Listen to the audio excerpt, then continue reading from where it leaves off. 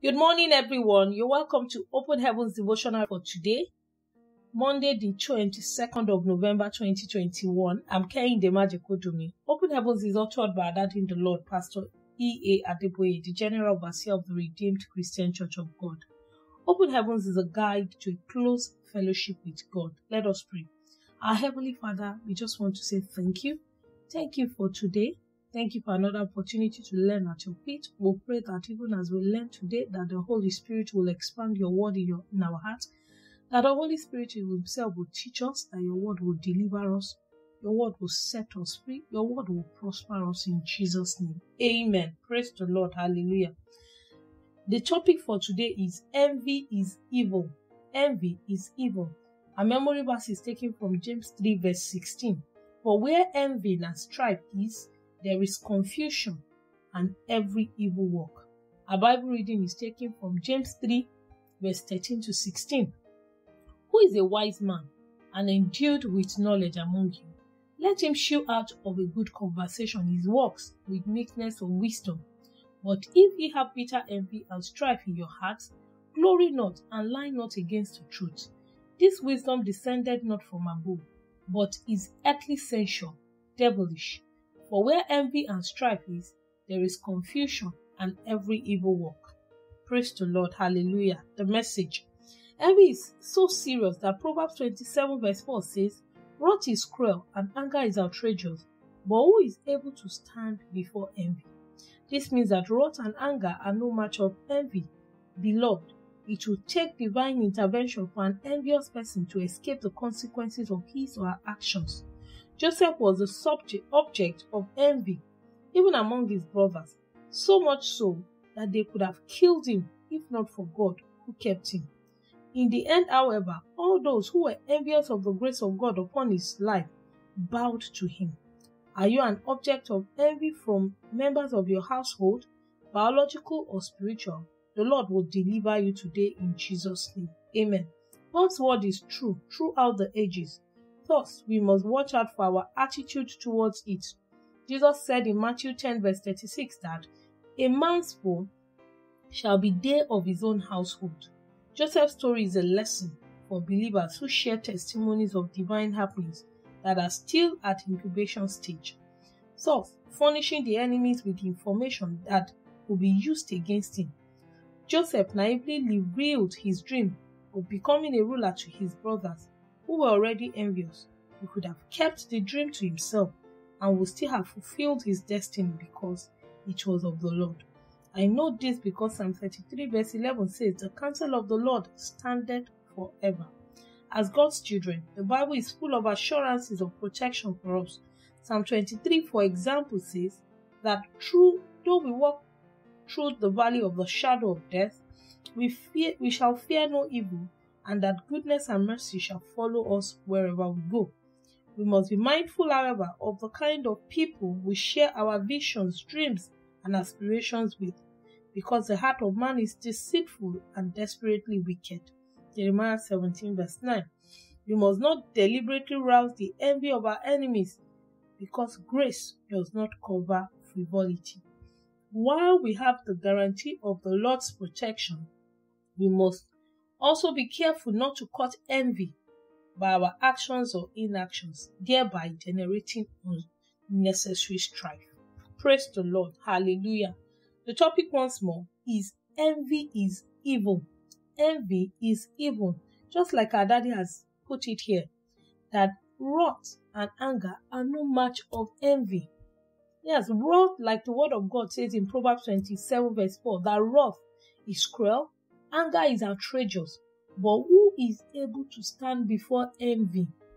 So it is obvious of a truth that envy is evil.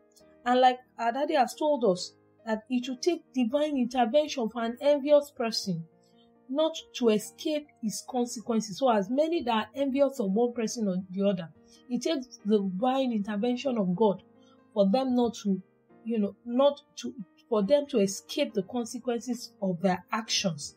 And like he has prayed for us, even as Joseph was, you know, was being was was a victim of envy. His brothers eventually bowed for him as many that are envious of you and they are plotting against your downfall in one way or the other.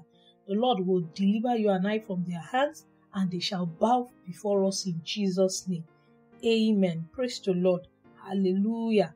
Yes, we are told that, however, all those who are envious of the grace of God upon our life will bow for us in the mighty name of the Lord Jesus Christ. Joseph was an object of ridicule even among his brothers. Among his brothers. And just like the word of God says, just like our daddy said, he said we must watch out for our attitudes towards the word of God. One of the word of God says that a man's foes shall be they of his own household in Matthew 10, verse 36. So, one of the people we should be careful of are the people of our own household. And you know, when they talk about people of your own household, it could be your family member, it could be biological, it could be spiritual, it could even be member of your own household in the place where you work. And those are the people, and as a result of that, like he has told us that we should watch out for our attitude. So we should watch out for our attitude even with these people. Like he put it, that we, we shouldn't share testimonies that are still in incubation stage. Yes, Joseph, we should le- take a lesson from the story of Joseph.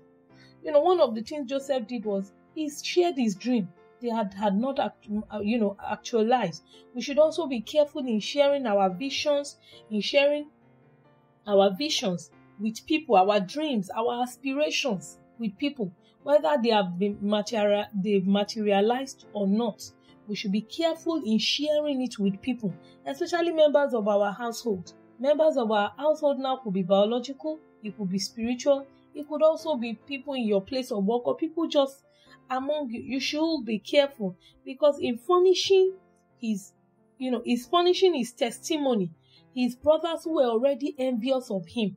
That actually brought about more envy in them, and they were angry, and they almost got him killed, if not for the grace of God.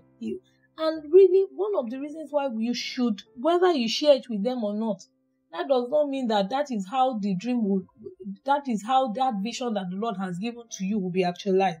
Because the word of god says the counsel of the lord standeth forever. So whatever he says he will do for you he will definitely do. And if we look at it we should be mindful, however, of the kind of people we share our things with in this age and time of social media's age. That even before anything happens, you have shared it on social media. Not only are you even sharing it with people within you, you have shared it to the whole world. You know, I remember somebody telling me that in these days, when you just look at people's status, you look at social media, that it makes her even want to be depressed. You just see people doing this, doing that. And no wonder there's so much depression out there now because you can easily see everybody's success and if you are not careful you'll be carried away. And that could actually some people have had hypertension. Some people have even want to commit suicide because of what they are seeing. And like somebody said he said there are three categories of people in life. He said one of them is the one that readily just want to steal. They're looking for you know they're on the lookout for who they will steal from. Another one is the one that it, it does not want to steal. Whether you bring your money at his table or not, he will never steal it. But the third category are the people they are not ready to steal and they are ready to steal. If the opportunity comes, that is when they will steal. They are not on the lookout, but once the opportunity, likewise when it comes to envy too, there might be people who are not even envious of you, but as a result of what you have done, your actions or inactions, they become envious of you, and those ones are much more. And that is why, just like our daddy has told us, that we should be careful. He says we must not deliberately arouse the envy of our enemies. You don't even know who your enemy is. Like the word of God says, He said, The heart of a man is desperately wicked. Is it says is deceitful and desperately wicked. When it's deceitful, that means you won't even know. The person you think is not envious of you might actually be the one that is envious of you. You know, the person that is, you know, going all about for you, trying to you know, in your own eye, you think the person is looking for your good, might actually be the one that is envious of you. And because the heart of man is deceitful and is desperately wicked. So we must be careful, you know, in our actions and inactions, not to cause envy from men. You know, do maybe be it through social media, through your conversation, through the careless word you have told to people You should learn to keep your vision. If, if look at that Bible reading that we read, the Proverbs 30, 30 the Proverbs 3 verse 10, it said, Who is a wise man and endued with knowledge among you? Let him shew out of good conversation his works. You know, the Yorubas will say when your yam is is you know when when your yam is germinating, you should use your hand to cover it. You know, so that people will not really see how big it is. But in these days, even what you have not achieved and what you have achieved, you're already spill, spilling it out and arousing, you know, envy and attracting people to envy you. So even those that ordinarily were not even thinking of envying you, you have added them. You are recruiting more enemies for yourself. I pray in the name of Jesus that the wisdom to know the right conversation, to know the right people to speak to, the Lord will give unto us in the name of the Lord Jesus Christ. Amen. Just like our daddy said, he said, Yes, the Lord has guaranteed us protection. He has assured that He will protect us. That even though we walk through the valley of the shadow of death, we should we shall fear no evil. He has also said, Goodness and mercy shall follow us wherever we go. But because He has said that, we should also be careful. We should be very careful. We shouldn't take that for granted and say that, oh, the, well, I have the grace of God covering me, so I can say whatsoever I can say. And just like he said, he said the grace of God does not cover frivolity.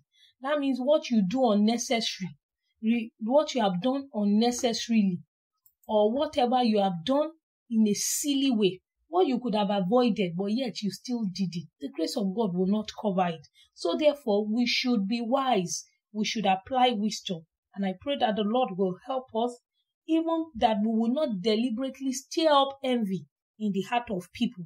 And as many that, you know, whether you like it or not, there are people that you will not even stir up envy in their heart, but they will still envy you. Also, that you will not even recruit more into yourself. And as many that have taken it upon themselves to envy you, whether you have stirred it up or not. I pray in the name of the Lord Jesus that the Lord will deliver you from their hands and they will bow before you in the order of Joseph in Jesus' mighty name. Amen.